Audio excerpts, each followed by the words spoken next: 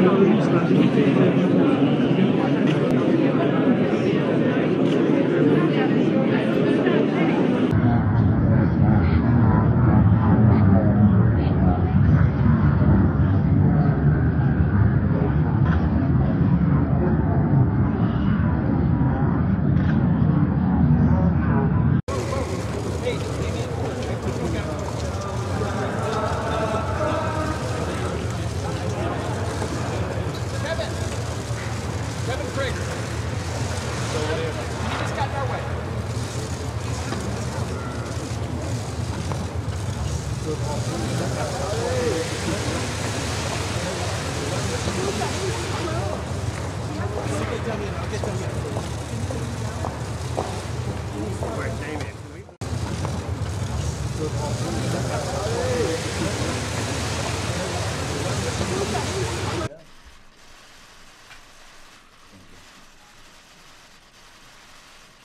Thank you very much.